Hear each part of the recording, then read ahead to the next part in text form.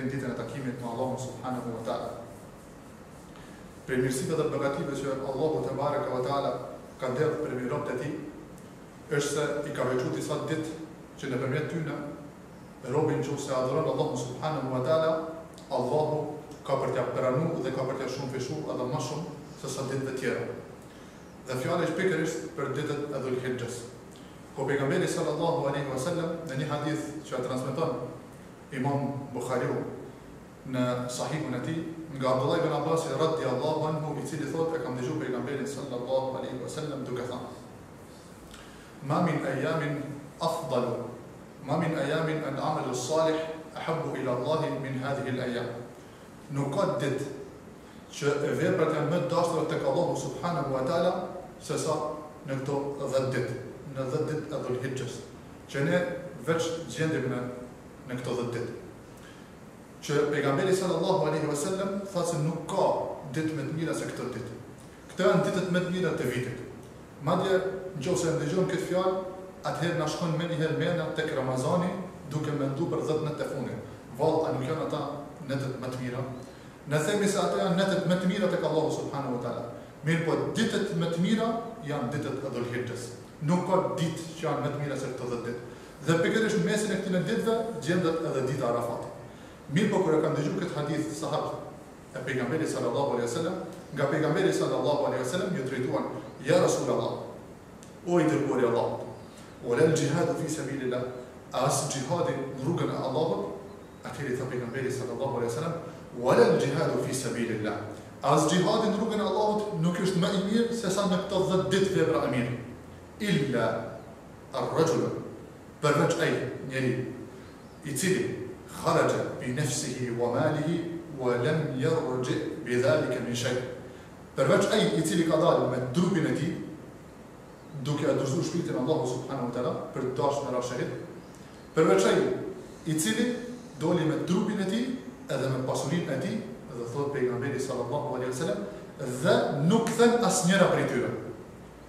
pra as trupi i tij e as pasuria e tij. Që do të thotë se nëqoftëse trupi i tij bjen shehid,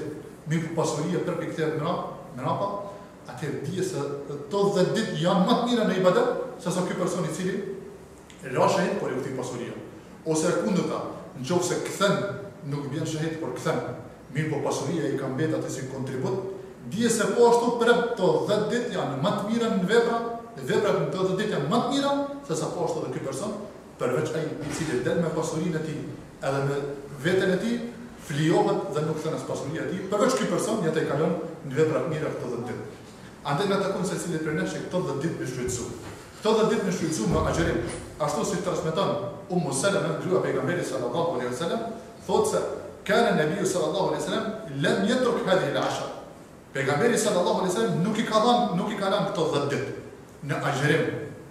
Pra vazhdimisht i ka agjëru Pejgamberi sallallahu alejhi ve selem këto dhjetë ditë, me përjashtim kur ka shku në haxh. Nuk i ka agjëru këto ditë, e po ashtu nuk e ka agjëru as ditën e Arafatit. Kur e kanë përmend dhjetë ditë në këtë hadith ka për qëllim dhjetëditëshin e plotë, ngase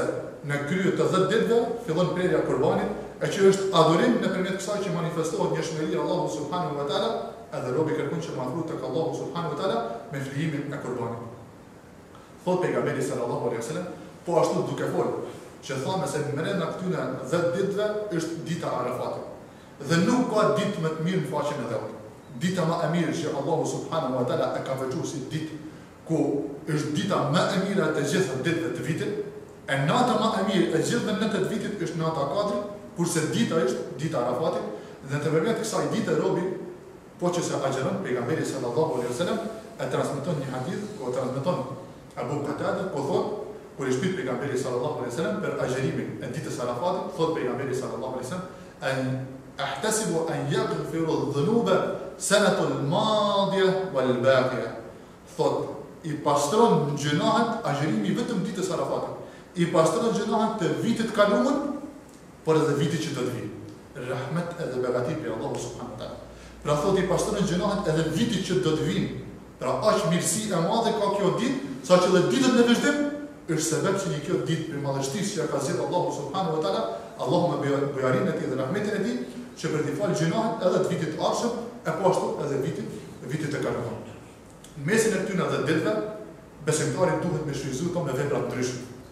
Thamë se me agjërim, po ashtu me namaz nafile, po ashtu me sadaka, saqë transmetohet shumë prej selefëve e kanë rujt dhënien e zeqatit mu në mesin e këtyne dhjetë ditëve, për shkak se shpërblimi është më i madh, madje madje ndoshta dhe më i madh se në Ramazan. Andaj këtë këto ditë t'i shfrytëzojmë ngase janë mirësi dhe rahmet, po vjen fladi i rahmetit të Allahut subhanahu wa taala mbi ne.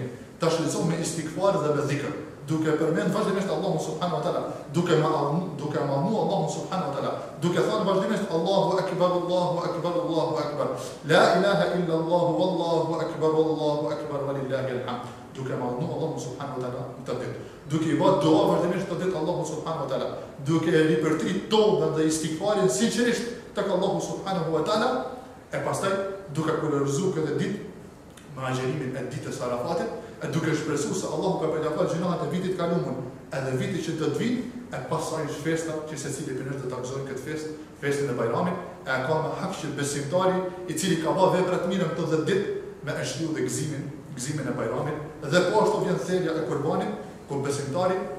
nëpërmjet therjes së kurbanit,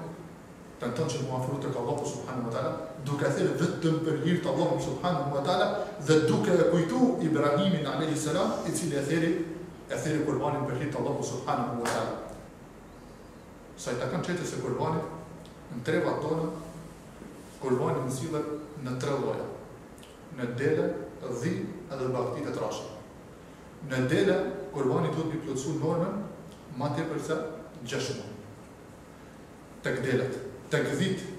më tepër se një vit dhe tek bagëtia e trashë më tepër se dy vite. Dallimi është se tek bagëtitë e trasha ka mundësi pjesëmarrje një person deri në shtatë, kurse në dele edhe dhi ka të drejtë pjesëmarrje vetëm një person. Dhe siç thamë edhe më herët, se nëpërmjet këtij adhurimit robi afrohet tek Allahu subhanehu ve teala dhe është ndër manifestimet më madhështore që e manifeston njëshmërinë e Allahut dhe teuhidin.